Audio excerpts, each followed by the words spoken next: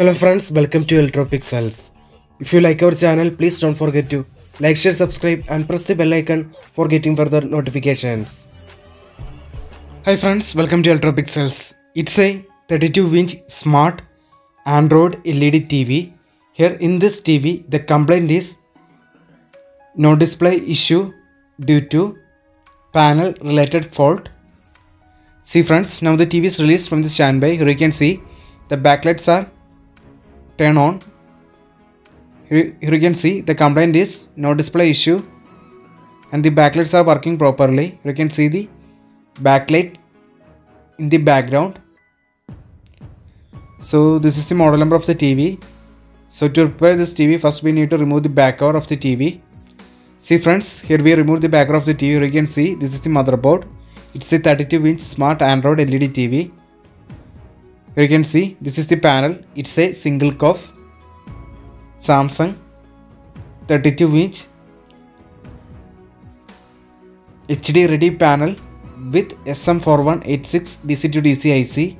Here actually due to internal shorting in gate signals, the SM4186 DC to DC IC goes to protection mode. Because of that, it doesn't generate any basic panel voltages like VGH, VGL, AVDD, etc. Here you can see this is the DC to DC IC named as SM4186. So the shorting may be either on the left side or right side of the glass panel. It is difficult to repair if the gate signal shortings are from both sides of the glass panel. If the shorting is from any one side of the glass panel, then we can repair it by removing the shorting by cutting down the gate signals either from the left side or right side. See friends, here we first going to cut down the right side gate signal tracks. See friends, after cutting down the right side gate signal tracks, while checking here we found that the complaint remains same. So this means that the issue is with the left side gate signal track. So for repairing this panel we need to resolder, rejoin the cutter tracks in the right side gate, right side scalar PCB. We need to rejoin the cutter tracks in the right side of the glass panel.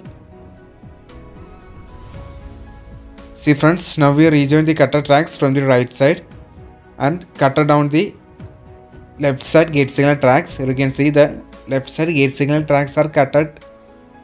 You can see. Now let us turn on the TV and check the picture. Remember friends, this is just only a temporary solution. The permanent solution is panel replacement and we cannot predict how long the display will work using this method. It completely depends on luck basis. Here you can see the result. Now the TV is released from the standby. Now here you can see the picture. At present condition, now the display is okay. This is just only a temporary solution. It completely depends on luck basis. So that's it.